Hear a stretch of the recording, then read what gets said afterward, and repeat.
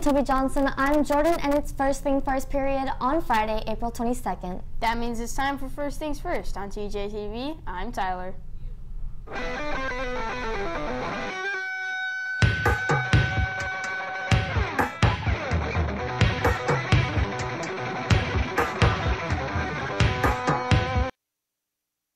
Prince, a famous singer and songwriter, passed away. He was born June 7, 1958, and passed away yesterday, April 21, 2016. The cause of his death is unknown.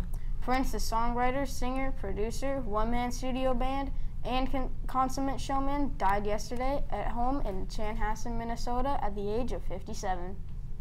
His publicist confirmed his death but not, did not report a cause. Prince achieved wide fame in the 1980s with his albums 1999 and Purple Rain, the latter album also serving as a soundtrack for the popular film of the same name. Later Prince albums included Sign of the Times, Diamonds and Pearls, and Musicology. His album Prince sold more than 13 million copies in the United States. He also won an Academy Award for his first and only film, Purple Rain. Thanks to New York Times for this new story. Jaguars. The next, Royal, the next regular Royal J meeting for current 7th grade Royal J members will be held on Wednesday, April 27th at 8 a.m. in room MH8 with Mrs. Rashid. Come pick up forms, ask questions, submit petitions, and check your files. Remember, Royal J members must attend and sign in at least one meeting per term to, in order to stay eligible for obtaining their Royal J awards. Please note that this is the last Royal J meeting for the 2015-16 school year. Now let's go to Emily for today's TDIH. This day in history. First on this day in 1970, Earth Day, an event to increase public awareness of the world's environmental problems, is celebrated in the United States for the first time. Millions of Americans, including students from thousands of colleges and universities, participated in rallies, marches, and educational programs. Next, on this day in 1992, dozens of sewer explosions in Mexico killed more than 200 people and damaged 1,000 buildings. The series of explosions was caused by a gas leak, the warning signs of which were ignored by the Mexican government and the National Oil Company. Also, on this day in 1994, Pres former President Richard M. Nixon dies after suffering a stroke four days earlier. In a 1978 speech at Oxford University, Nixon admitted he had made mistakes during his presidency, but predicted that his achievements would be viewed more favorably with time. He told the young audience, You'll be here in the year 2000. See how I am regarded then. Finally, on this day in 1945, Adolf Hitler, learning from one of his generals that no German defense was offered to the Russian assault, admits to all in his underground bunker that the war is lost and that suicide is his only recourse which he carried out on April 30th. That's it for me. I'm Emily reporting for TJTV. Now back to you. Thanks, Emily. If you have not bought your yearbook yet, there are 54 yearbooks left to purchase before yearbook distribution day in May. Congratulations to TJTV's Katie Nguyen and Trisha Cal for winning the district's PSA contest.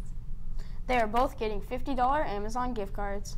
In other winning news, Congratulations to Carmen Jimenez for winning honorable mention in the Sacramento Yolo Mosquito and Vector Control District's annual Fight the Bite contest. Her entry was chosen out of over 3,000 entries that they received this year. She will be getting a check for $50 at, for winning honorable mention. Polar ice caps may play an, a critical part in Earth's future. In fact, scientists are already looking into it. Let's go to Armando for more about this topic. Warmer air, less frigid water, and gravity may combine to make parts of Antarctica's western ice sheet melt far faster than scientists had thought, which means the level of the sea could rise very quickly as well. All this, according to a study, could happen before the century is over. In a worst case scenario, the sea level could rise in 2100 by 18 to 34 inches, and by 2500 the, simula- the simulations predict seas 42 feet higher. The increase would come purely from Antarctic melts. That is much more than an international panel of climate scientists predicted just three years ago. Robert DeConto, a climate scientist, states that North America has a lot to fear from ice loss from West Antarctica. If global warming continues to cause warmer weathers, California and so many other places are in much danger. For more information, go to tweentribune.com. I'm Armando reporting for TJTV. Now back to you. Thanks, Armando. Did you know that we are going to have a new face on the $20 bill?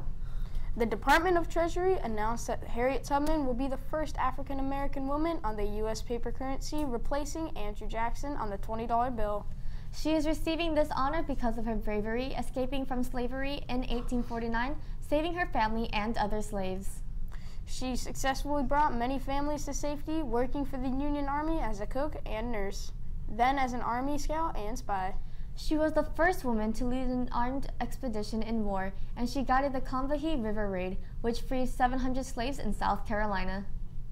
The last time any woman was on a paper money was in the late 1800s when the First Lady, Martha Washington, appeared on the $1 silver certificate, and Pocahontas was on the $20 bill from 1865 to 1869. This change will be the first of many changes that will happen to U.S. currency. Hey Jordan, do you know what time it is? I think it's time to talk. Sports Talk. Hey Toby, and welcome to Sports Talk on this rainy Friday. Let's jump right in, no time to waste.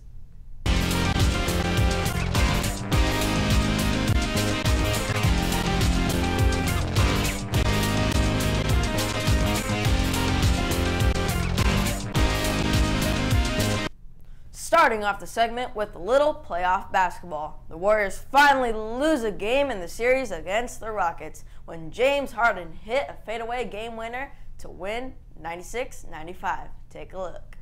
Livingston knocked it away, and here comes Harden. One point Golden State lead. Harden against the backpedaling Iguodala. He got it! He got it!